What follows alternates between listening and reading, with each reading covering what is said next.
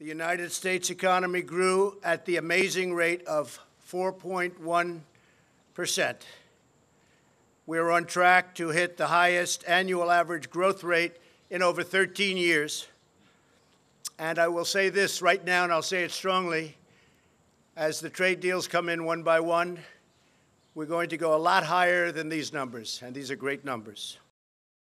So on Friday, the Trump administration announced some impressive GDP numbers. Now economists are posing the question, are they sustainable? Uh, also, consumers are starting to see higher prices on things like soda and beer in response to recent tariffs on metal. So we are joined now by Martin Neil Baily, Chair in Economic Policy Development and a Senior Fellow in Economic Studies at Brookings. He also served as Economic Advisor to President Bill Clinton. Nice to have you, sir. Thank you. Nice to be here. So, put these numbers in context uh, for what was achieved, say, during the Clinton administration or, or in other presidencies. Well, during the Clinton administration, we had very strong economic growth, much stronger, really, than has been achieved since the Great Recession. So we got good numbers. You know, it was it was a strange feeling. You'd go in and tell the president or, or tell the the cabinet each quarter that you got another another great number. It was a fun position to uh, be in. Unfortunately, growth has slowed down since then, and really since about 2004, we haven't had that kind of strong growth.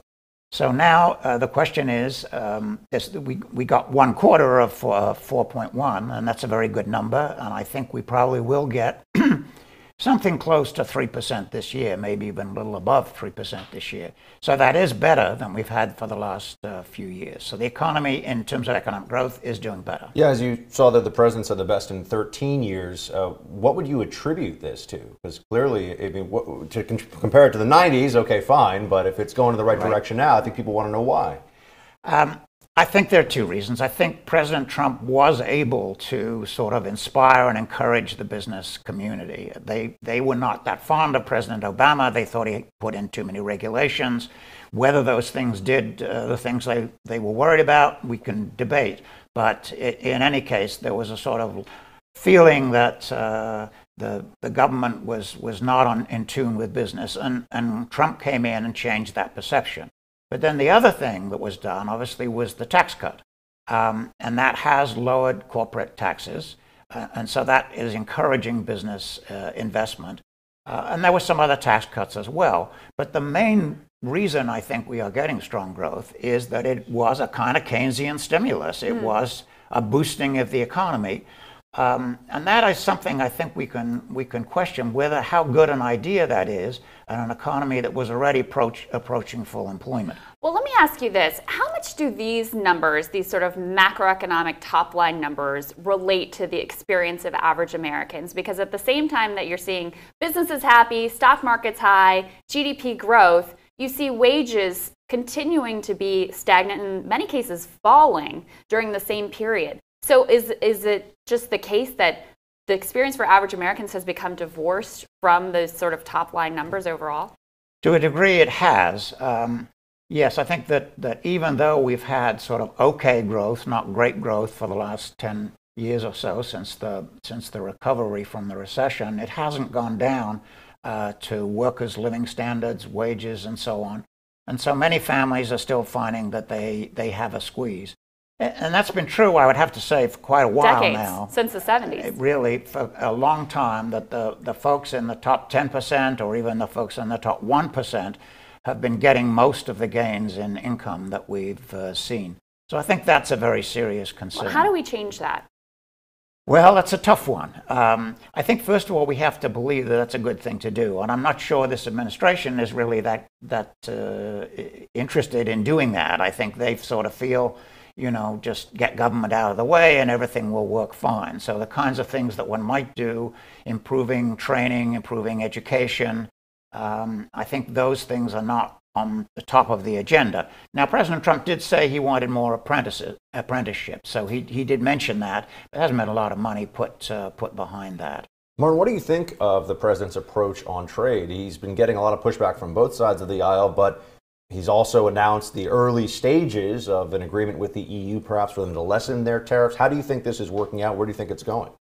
I think his approach is terrible. I mean, he's insulted our allies, um, and, and that's not a, a good idea. Uh, I was pleased that he was able to come to some kind of agreement with the EU, uh, so that's helpful, and let's hope that goes in, in that right direction. Um, I do think previous administrations maybe could have done more in terms of the, the trade deals. I think when China was admitted to the WTO, that maybe uh, there should have been provisions that phased in so that, that we didn't get that rather quick uh, loss of jobs in manufacturing in the United States. So I think there were mistakes that were made in the past. And taking a tough line uh, with China on, on intellectual protection, I think that's a, a, good idea. So I don't, I'm not criticizing everything that's done, mm-hmm. but the sort of scattershot let's put up on tariffs, let's insult people. That I don't think well, what would be a, what would be a it. mechanism for getting Chinese cooperation short of tariffs, for getting the Chinese to back off? We've been asking them to not do things for a long time. Asking them clearly won't work. Well, uh, I think that that uh, restrictions. I mean, some of the things that are being done on restricting access of uh, Chinese companies to technology here in the U.S. So that was already uh, happening. So they can't just buy a technology company, uh, borrow uh, steal the patents and take them back to uh, back to in China. part for national security concerns, for, for national con- security concerns. But I, but I also think that we have to recognize that the China, China is an upcoming country, and that uh, you know they are going to be gaining on us in some of these uh, some of these industries. Moreover, the big trade deficit, which is the big complaint that uh, that Trump has, Yes, it's a little bit the fault of China. It's a little bit the fault of Europe. There are things that they could do. But on the other hand, a lot of it is our own fault. Uh, we need to do something about the fact that we're spending a lot more than we're producing. We don't save much as an economy. If we really are serious about trying to reduce the trade deficit, which I think we should be, then we have to address that problem here at home. Well, and in a similar vein, some job loss and manufacturing job loss has been caused by what you said, or sort of mistakes that we've made in terms of trade, but a lot has been caused also by automation. Is that a trend that long term you're concerned about in this country? Well, I'm not sure what you can uh, do about it. I mean, we've always had automation. We've always lost jobs because of automation. If you go back uh, to the 19th or 18th century, even, you, you see that same effect. So I don't think, unless we just cut ourselves off and say we're not going to uh, we're not going to try to raise productivity. We're not going to invest. Of course, we don't want to do those things. Right. We want to change a changing economy, and that's going to mean uh, a decline in manufacturing jobs. I think. I don't think, at least as a share of the total, we may be able to add a few jobs. We are, have been adding a few jobs in the last year or so, um, but manufacturing jobs as a share of the total is probably going to go down. So the question is, what are our workers going to do? And, right. and we, we talked about that a moment ago. Um, they need skills. I mean, you know, if, if, you're a, if you're a carpenter or a plumber or you can service an automobile, you can make a pretty good living in, in the U.S. So we need to find other jobs for folks to do. And it's not just becoming a computer programmer.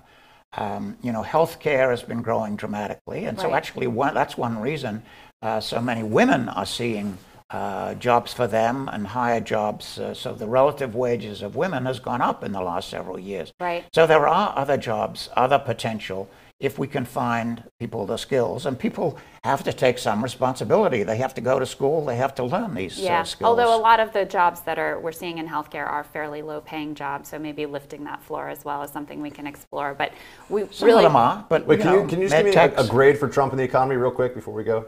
A grade. Come a grade. Oh, C, okay. B plus, A uh, plus, C plus. C plus. All right.